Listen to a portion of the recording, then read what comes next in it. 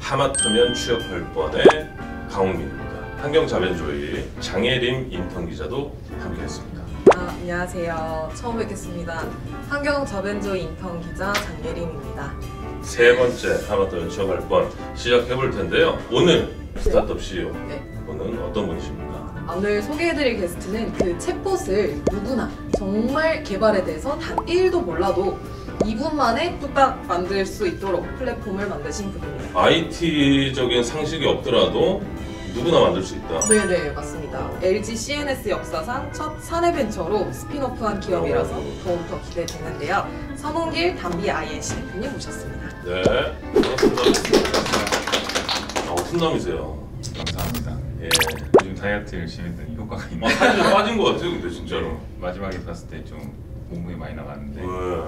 아, 그때는 살기 편하다 싶었는데 그 스토리를 좀 들려주세요. 저는 그 시각 디자인과에 어, 가게 된 건 원래 꿈은 만화가였어요. 원래? 네, 고등학교 때 만화부 부장이었고 와. 그래서 오타쿠 중에 오타쿠였죠.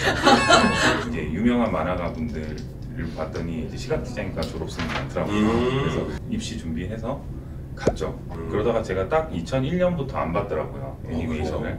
그러니까 제가 입학을 2001년도에 했는데 그때부터는 이제 그 댄스 동아리 활동 이런 건뭐 오! 와. 아, 재능이 많으시군요. 대단하시네요. 이 담배 하실 분이 아니신 것 같은데. 아니, 그러다 보니까 네. 그 뭐랄까 사업 대표라는 게 다양한 거에 관심이 없으면 사실상 해내기 되게 힘든 일이거든요. 음, 어떻게 보면 저랑 맞다는 생각도 들고 만화나 뮤지컬이나 다양한 분야가 있었을 텐데 이제 대기업에 입사를 하셨어요. 거기에서는 우리 서 대표님 뭐 어떤 role을 하셨어요? 저는 처음에는 이제 디자이너로 입사를 해가지고 음. 그 웹사이트나 앱에 아니면 시스템에 들어가는 음.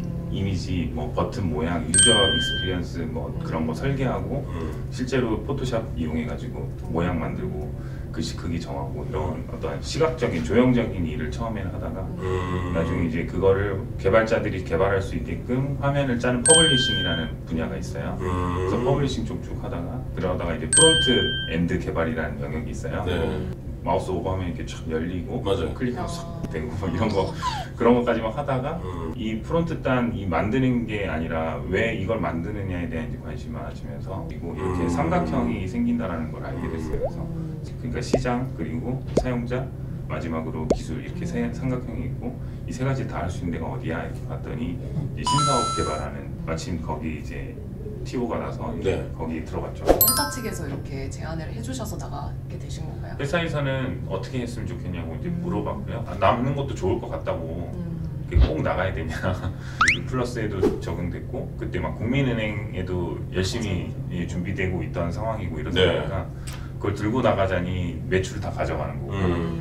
그래가지고 이제 분사를 할 때 저희 그러면은 지금까지 한 건 놓고 나가겠습니다. 아. 나가서 해보고 싶으니까 너무 나가고 싶었구나. 네 그렇죠. 왜, 왜 나, 가고 너무? 싫었던 거죠. 네, 저 그런 건 아닌데 네. 이게 이렇게 해보니까 그 성공 경험이 쌓이다 보니까 나가서도 해볼 진짜 해보고 싶다는 마음이 아. 커졌던 것 같아요. 놓고 나간다고 하니까 이제 좀 나가라. 나가서 잘 돼야지 안에서 이제 사내벤처 하는 친구들도 아. 더 의욕이 생기고 그걸 보고 네 장단점이 있을 것 같긴 해요. 사내벤처의 장점 네. 우선 분사하기 전까지는 확실히 엄청 좋은 거예요 왜냐하면은 어떤 부담 없이 리스크 없이 자기가 생각했던 거를 이제 해볼 수. 있다는 점 음. 근데 이제 분사를 하는 순간 그 전쟁이 시작되는 거니까 음. 그리고 그동안 이제 원래 기업 문화를 가지고 일을 하다가 갑자기 바뀌는 거예요. 자기가 뭐 사무실도 자기가 알아봐야 되고 아. 월급 정산도 그 시스템 은행 가서 계좌 이체 딱 눌러야 되는 거예요. 음. 월급도 그 숫자 맞는지 막 확인하고 정말 세세한 거 하나하나 다 결정해야 되고 음. 맞아요. 그 돈을 어디서 가져와서 음. 회사를 서 있을 수 있게끔 유지를 해야 되는 그 스트레스가 제일 큰 것 같아요. 음. 요즘 좀 근황이 어떻습니까? 제가 알기로는 좀 굉장히 바쁘다고 알고 있는데 챗봇 뭐 많이들 써보셨다고는 하지만은 그게 확산되는 게 그렇게 빠르지는 않은 거예요. 그래서 저희가 어떻게 할까 고민을 하다가 저희가 사실은 관심 없던 시장이긴 했는데 네. 그, 그런 관점에서 살펴봤더니 영어 수학이 이제 사교육 1등으로 돈이 제일 많이 들어가고 어. 이제 세 번째가 코딩 교육이더라고요. 세 번째요, 벌써? 네, 생각보다 태권도 아니고 태권도 아니더라고요. 태권도도 그 코딩 교육은 결과물을 PC에서밖에 못 보는데 채팅창처럼 이렇게 할 수가 있다 보니까 네. 굉장히 흥미를 느꼈다. 음. 그래서 프로그램 만드는 거를 굉장히 간단한 시나리오를 해서 만들어 볼 수 있는 경험을 줄 수 있다는 걸 알게 돼가지고요. 그래서 교육용으로 좀 준비를 해서 이제 11월 중순에 이제 전체적으로 좀 알리고 이렇게 좀 해보려고 하고 있습니다. 어, 어, 담비의 이 차별점은 뭡니까? 저희는 가입해서 바로 만들어서 그날 당일날 적용할 수 있는 클라우드 형식으로 되어 있는 거고 보통 챗봇 빌더들 보면은 자연어 처리 기술이 빠져 있는 경우가 많아요. 저희는 자연어 처리까지 된다. 이 비용은 어느 정도 됩니까? 비용 월 3,000원부터 시작되고 월 3천 원이요. 네, 월 3,000원, 3만 원, 30만 원 이렇게 있는데 아, 네. 30만 원은 이제 음성 인식이랑 아. 음성 기능이 들어가고 그 다음에 이제 보안 기능이라고 해가지고 로그인 한 사람만 쓸 수 있게 해준다거나 음. 이런 것들이 필요하신 기업 고객들은 30만 원을 요구 이용을 어. 하시고 예. 이벤트 참여하겠다 뭐 이러면은 이벤트 아. 이메일 주소 같은 거 음. 그거 스프레드시트에 착착착착 이렇게 쏴주는 거 그런 API가 이제 3만 원 요금제부터 열려 있고요. 음. 3천 원은 이제 체험이죠. 네. 체험 버전이라고 생각. 지금 직원분들은 몇 분 정도? 저 포함해서 9명. 아, 그 spin-off에서 나오신 분들도 함께 계신가요? 네네네. 다? 같이 있습니다. 네네. 팀워크 좋네요. 네.